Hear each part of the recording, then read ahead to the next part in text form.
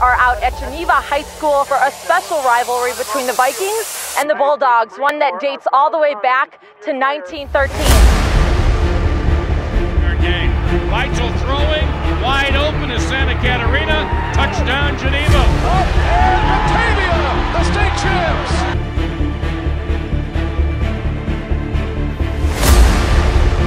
Corner there is just determined up.